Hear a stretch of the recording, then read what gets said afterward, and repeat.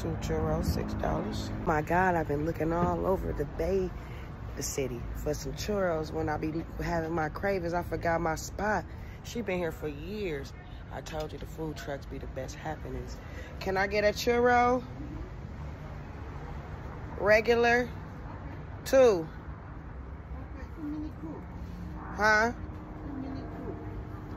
Of course, I got the regular.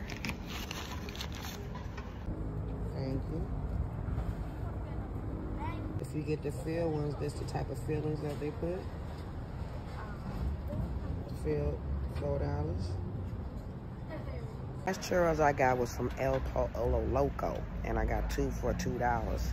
And I ain't gonna lie, them was pretty good. They was just small, but they was nice, crispy, and soft. Two for two dollars, El Pollo Loco, them was hitting. We finna see what these do.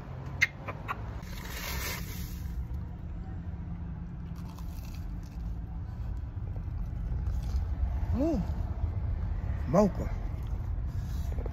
Mm, mm.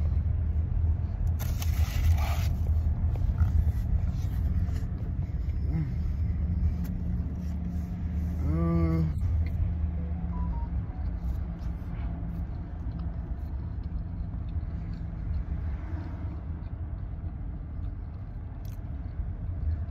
Six out of ten.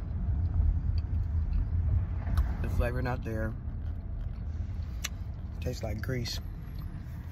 Tastes like straight grease. But the texture, the crunch and the texture, why she got the six. But she needs some taste. She probably should have got a five. But I'm gonna give her that six because she really outside.